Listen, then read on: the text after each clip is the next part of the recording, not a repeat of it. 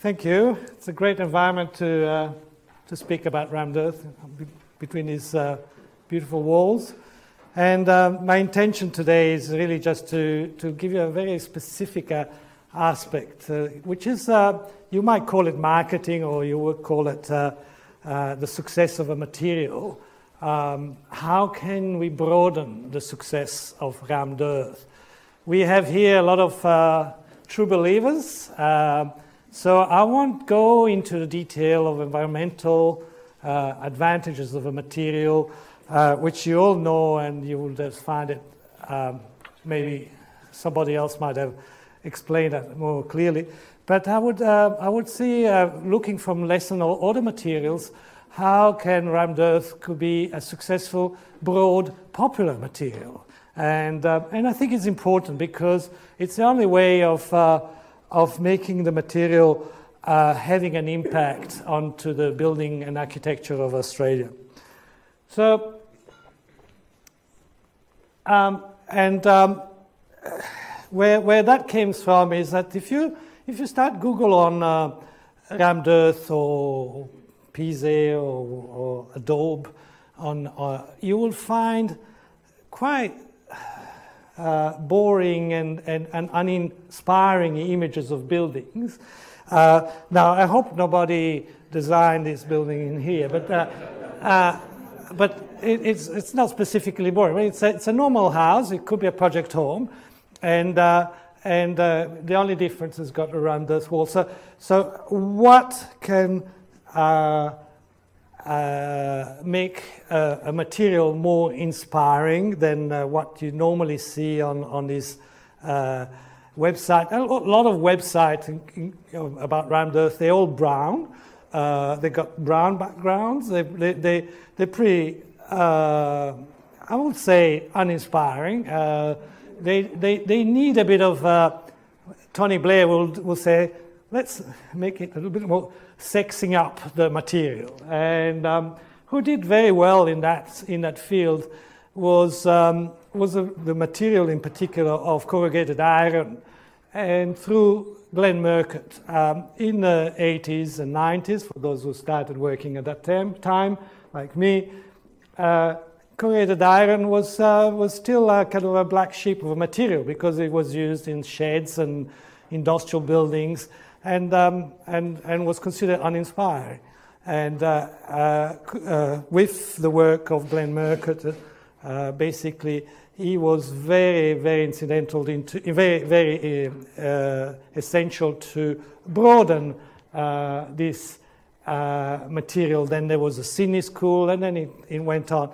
And how Murcutt made the material interesting is obviously uh, whimsical architecture, very good detailing, very good, um, um, uh, as Marsha say, photography uh, that, that, that, that, spread all over the world, and uh, it became also a Pritzker Prize. Um, so um, this, uh, uh, this is what I've been trying to do, is just to uh, broaden up the, the, over, the, over the years uh, the use of this material.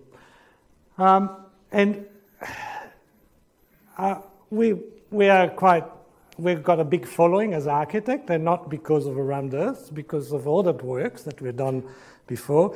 And I thought that was important as, uh, as my engagement to, to develop uh, uh, an environmental, environmental architecture is to uh, broaden the and, and to develop the, the earth fields um, and become and try to, to be the, the role model.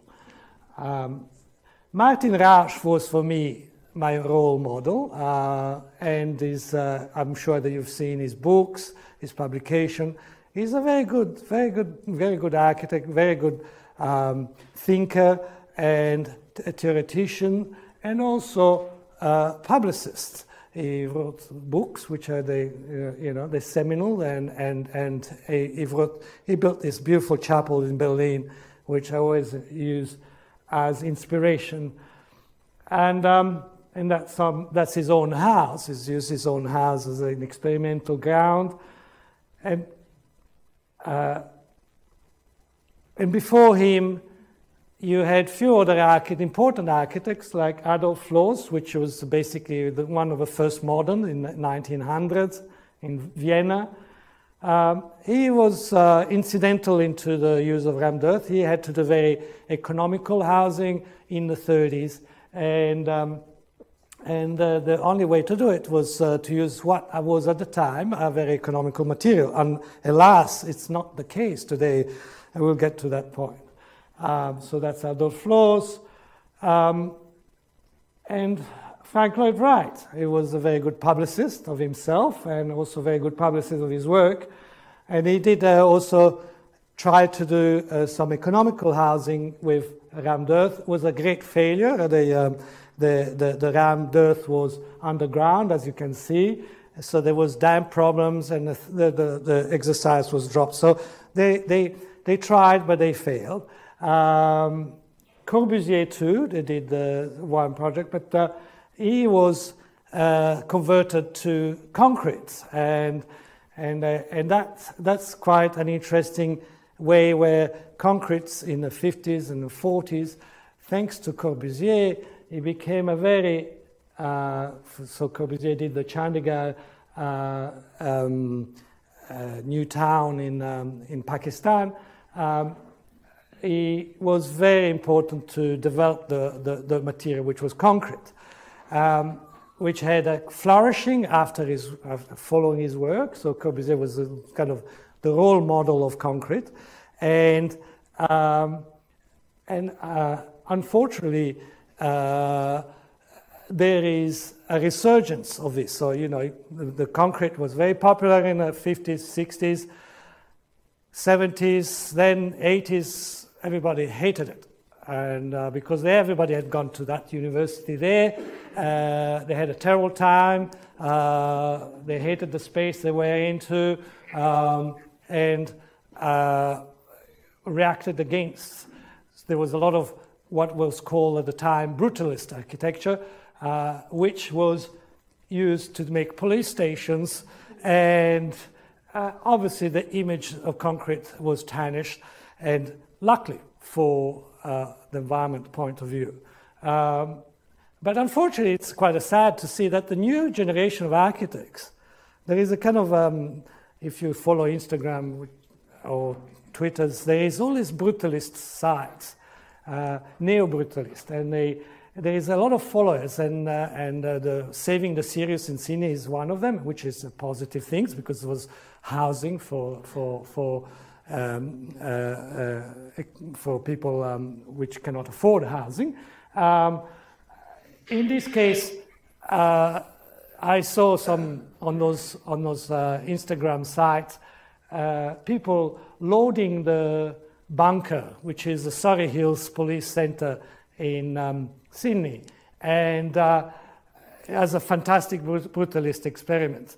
And it, unfortunately, it has a terrible connotation, and I think it's a sad thing also that concrete um, need, doesn't need to be uh, rediscovered. Um, so, Rammed Earth has found a lot of role models uh, overseas. Uh, we got Martin Rauch currently.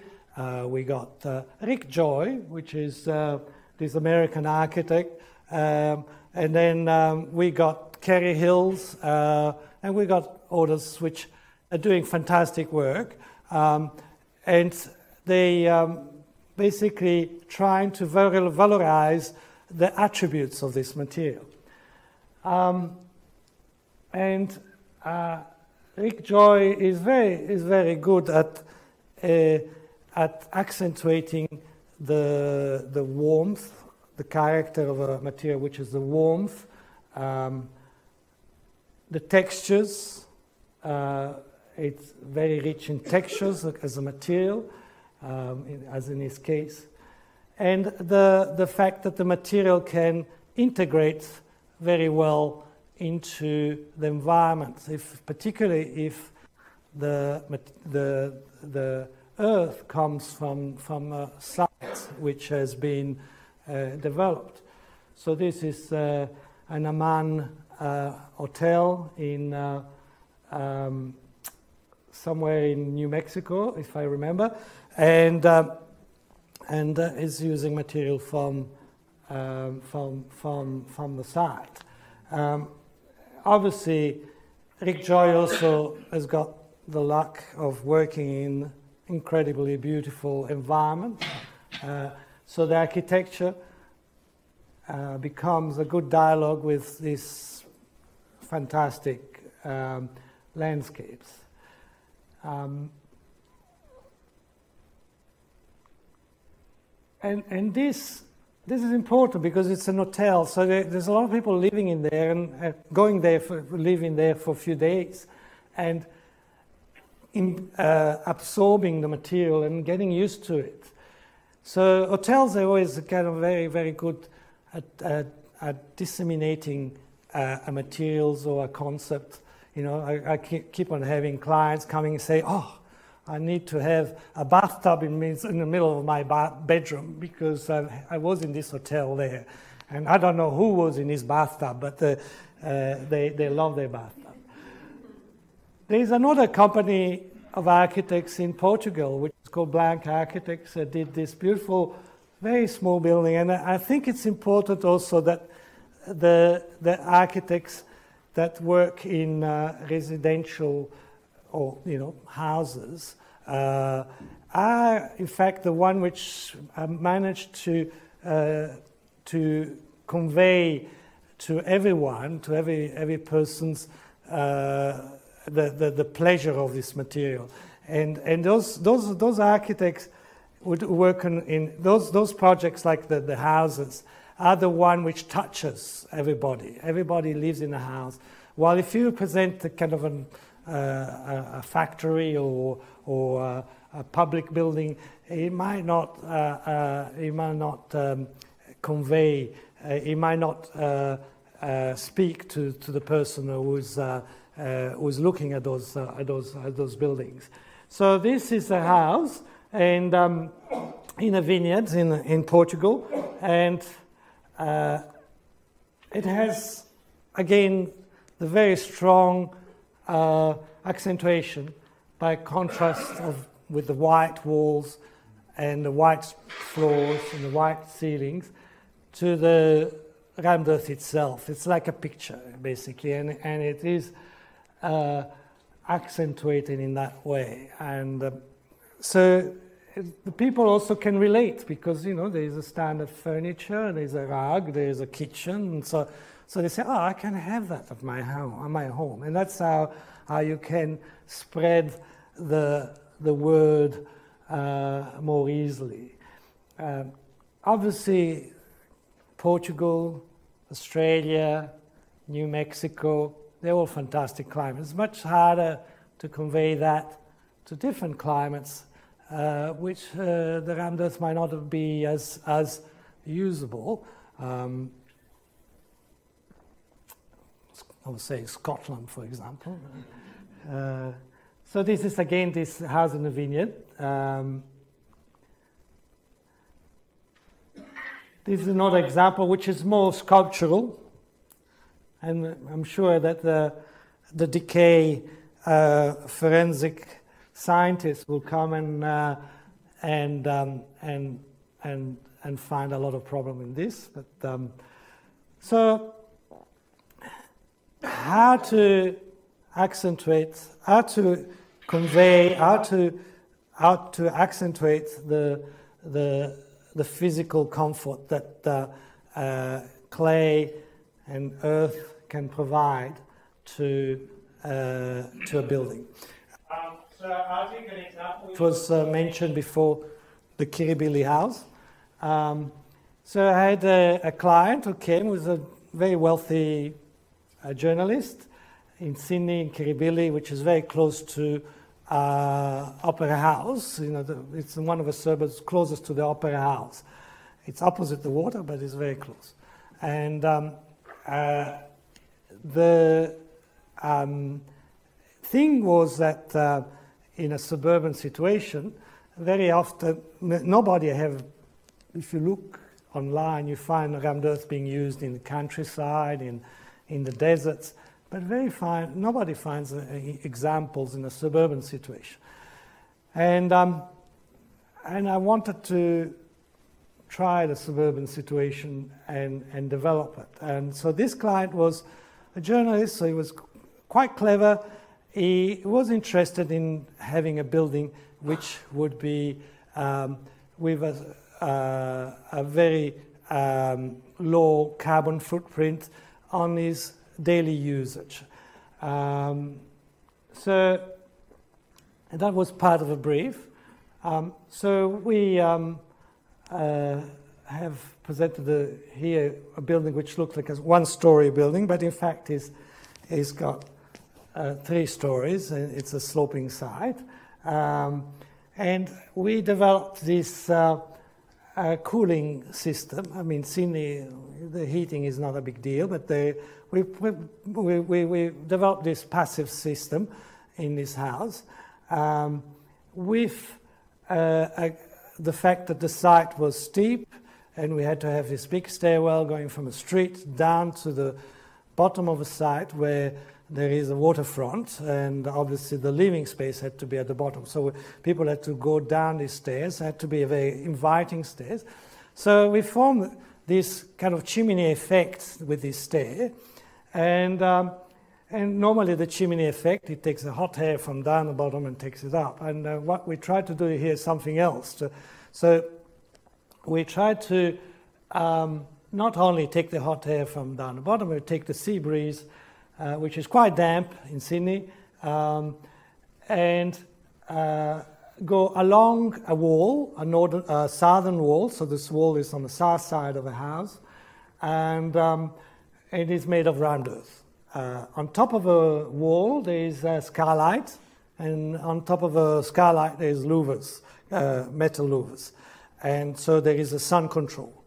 So the idea was there is to have a wall which, uh, uh, with the hygroscopic effect of the clay, would absorb the humidity and then with the breeze going up the stairs would let it evaporate and the wall should be should have been uh, a certain amount of degrees less than than uh, than the air which was flowing through the stairwell and that did work very well. Plus, there was a combined uh, system which was to capture the sun in winter and then the mass of the rammed earth, uh, liberating it when you need it uh, towards the end of a day, when people come back home from work.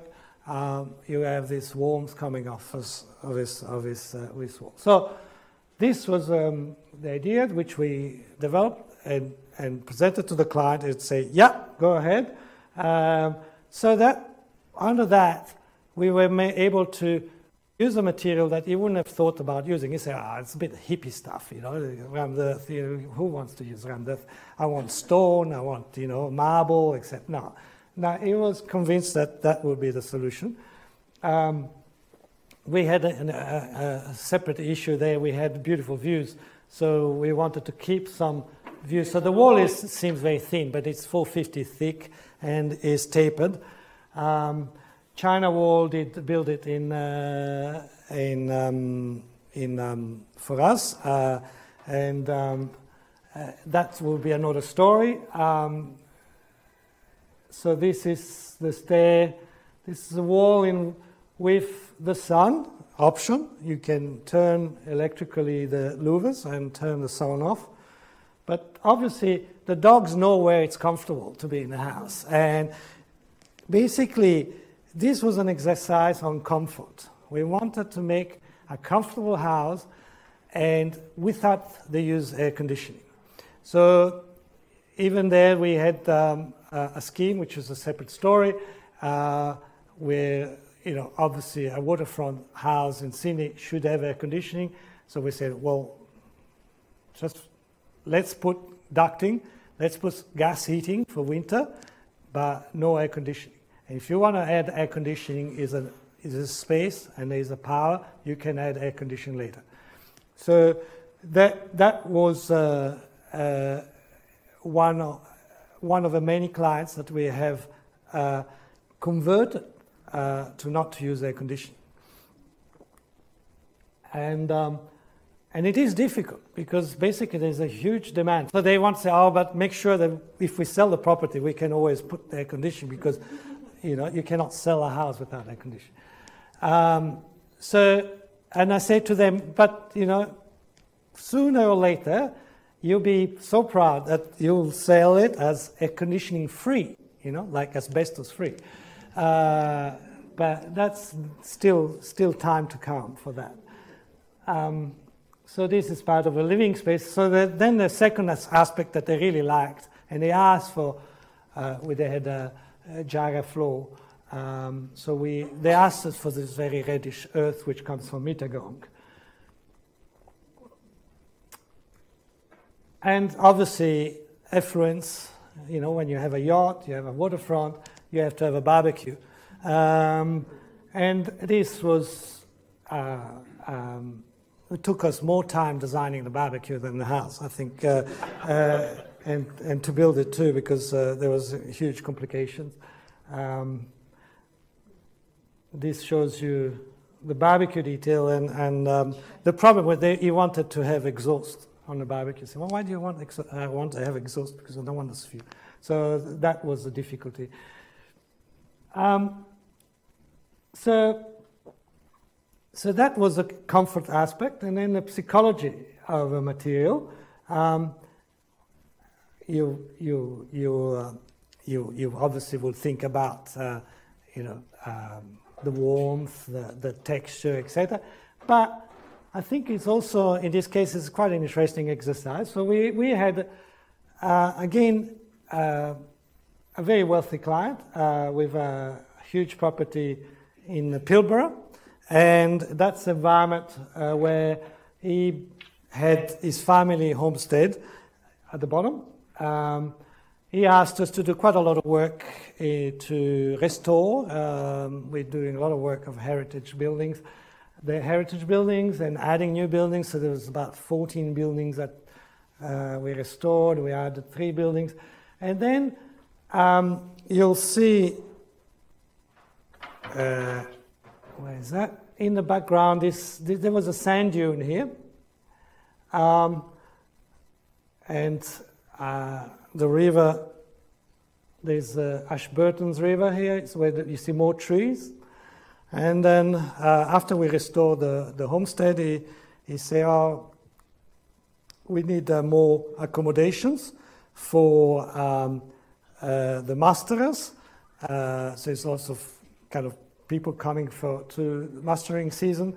And um, the, the properties at the time, it wasn't. It was about a third of that. What's now? And the property now is the size of Switzerland, um, and uh, so the property was uh, uh, funded in uh, in 1868, and that was uh, that was uh, the original homestead. some some of the internal restoration, and this is some of the old building that we restored. we had to uh, pull the corrugated iron out, uh, and put it back as it was. You know, uh, there was a lot of termite. Uh, so he asked us for uh, 12 new accommodations. So this, um, uh, this like little, little self-contained bedrooms with a little kitchenette and bathroom, and um, and he wanted to be built on top of a sand dune. And I said, no, it's going to look like a, like a, um, a little suburban development. So, you know, you, you really don't want to spoil a sand dune. Um, let's, um, and, and his wife was very, very against that because she said, oh, look, you're going to die to the husband, and we're going to have all this building to maintain, and what, what, what, what um, it's going to be a nightmare for us. So um, I suggested, well, what about one, to build underground, because then you're going to have much less facades to paint, and uh, she was concerned about the paint. The, the, you know, I don't want this building to paint. So, uh, build underground, and he said, No, no, I'm not a hobbit. I don't want to go underground. I said, No, because that's going to maintain the building uh, in constant temperature. Uh, you're not going to have to, because there's, you know, 50 degrees in summer, and you don't need to uh, worry about when they're not used to be overheating. You not have to run air conditioning. Um, you do not have to, um, uh, and then with an external wall made of rammed earth and with uh, there was a capping in Corten steel uh, and, and awnings in steel, Corten steel. You don't have to do any maintenance. Um, so they thought, ah, that's a great idea. Uh, and so she said yes, and he was very happy because she said yes. And, um, uh, and this was totally un- unthought of, this, this client. He's a, he's a guy who digs up mines and, you know, uh, he's got no, not at all a, a, sense of uh, environmental conscience. Um, and um, uh, but he was very happy. He got his mining trucks and dug the hill, uh, um, and um, we dug the hill and built these 12 uh, accommodations and a chapel in the middle. So the, the middle building, it, it was a family chapel because uh, underneath there is a, a, cemetery, a family cemetery, and um, um, so uh, we dug the hill. You can see there before.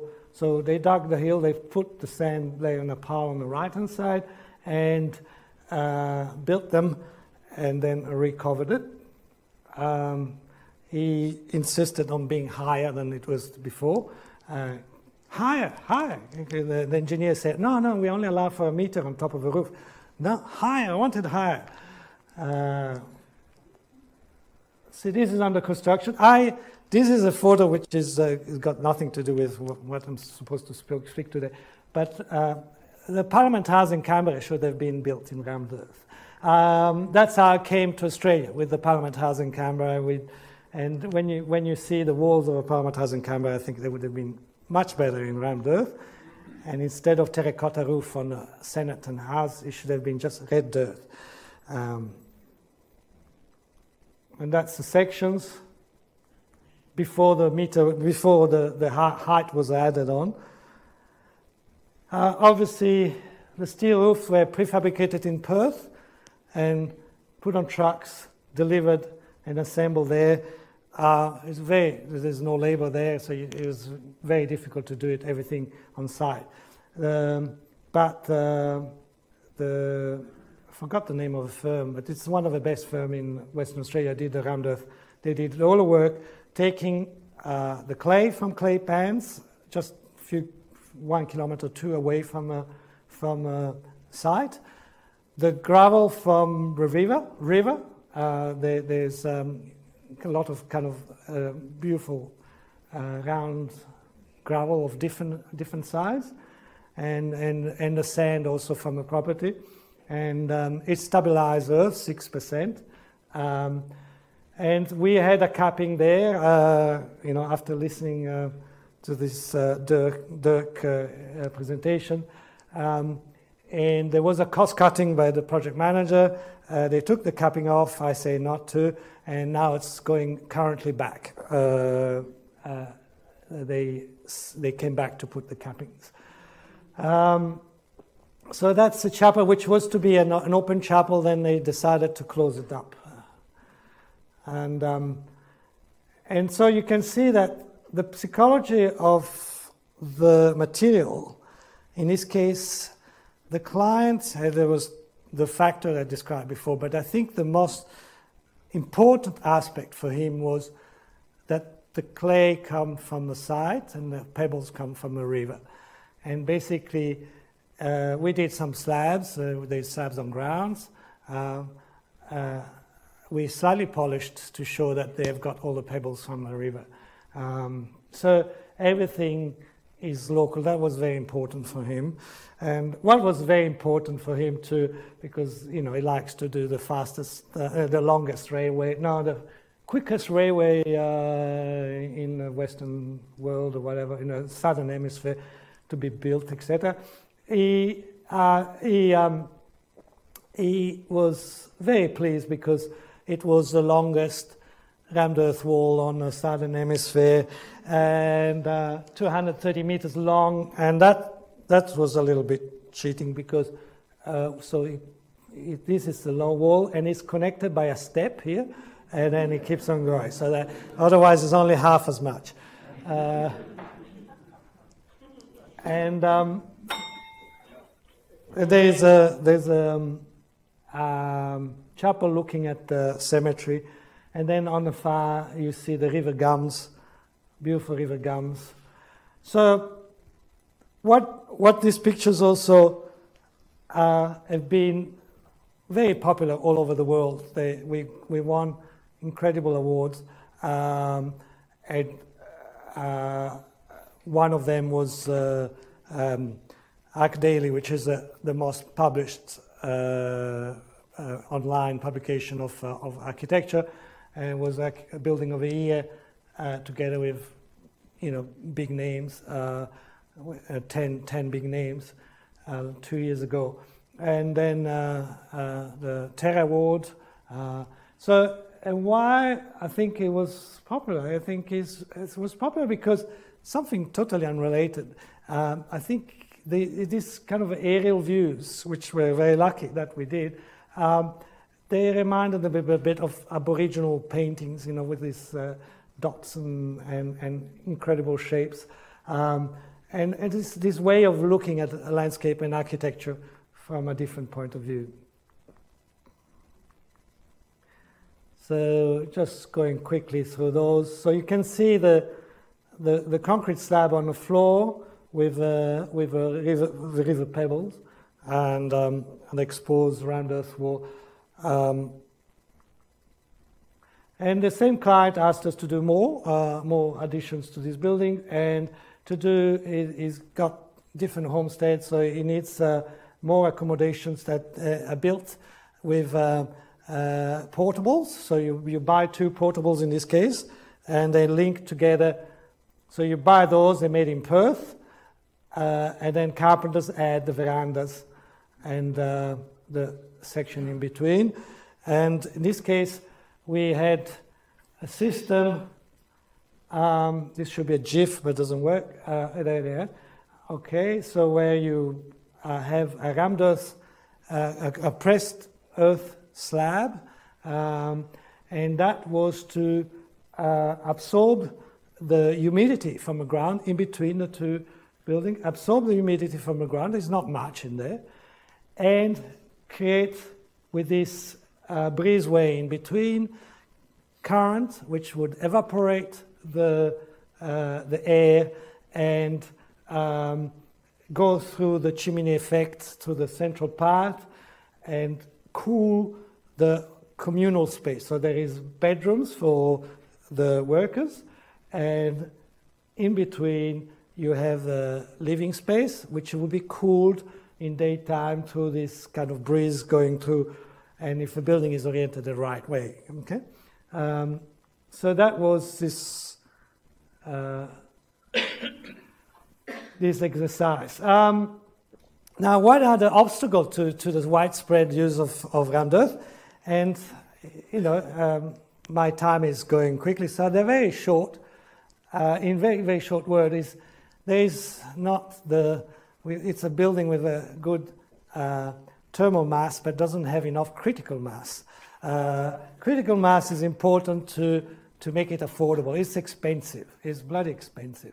And that's only you have, you know, uh, um, universities, uh, very dedicated people, or people doing themselves, or uh, wealthy people like this that uh, build it. So we, we need to have a critical mass, and, and then you have more uh, contractors. There's in Sydney, there's basically two, and then one comes from Byron, the other comes from, from here. And, uh, uh, China Wall went went broke. They got alcoholics, and so they stopped. And uh, so there, there's nobody. Um, so we are doing all these buildings here, and every time we have problems in sourcing the the, the contractors. Um, so this is building under construction. Tony Wright is uh, building this, uh, and it's a you know it's, it's a very whiz bang kids who uh, did a lot of money with uh, computer uh, software, uh, building a house in Tamarama.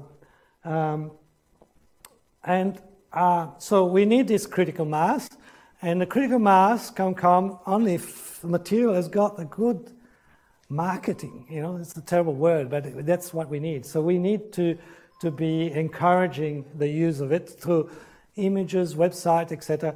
And, and, um, and that's what, uh, you know, I've been trying to do. Um, and so and we use it in a, quite a lot of uh, different projects. And what is the future? Well, I, am sure that is uh, you, you, you need a good culture for a material to flourish. And there is this good culture. There is this will of uh, having a, a, building material which has got uh, uh, a smaller uh, environmental footprint than all the other materials that we have to use. And um, there is, uh, on, on, in, in this culture, we need to, to find good examples. So um, I think there is, that's happening, and, and uh, uh, Kerry Hill, which is another Australian Singaporean architect, is doing very good work. He's doing an Aman, all sorts of Aman resorts in Nepal, in Bhutan, with rammed and, um, and I think that's, that's going to help a lot. From our side, this is current, current projects. This is another project in Western Australia.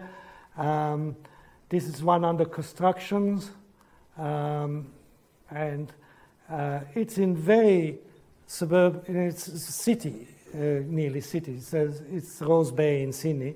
Um, so uh, it's, it's a suburb where people, you know, only does what everybody else has done before. So it's quite brave of my client to do this.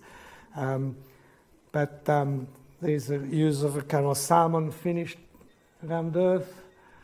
This is another place in Rose Bay. And um, some of the sketches, which is under construction. Oops.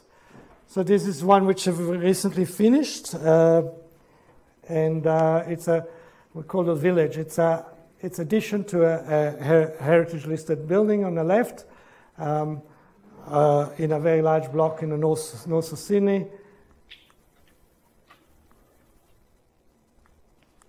Have any more slides, Luigi? Yes, nearly finished. Uh, so this is the images, and that's the final result.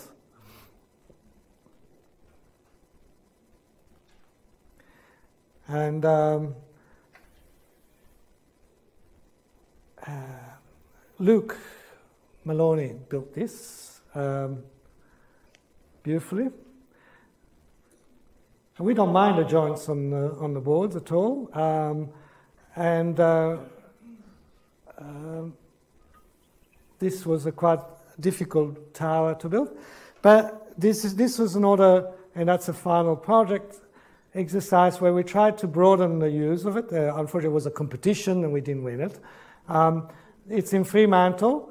It's a public building for uh, Green Council, and um, uh, it's a new addition to the town hall. The town hall is on the right, and it was going to be a library and, and community centre.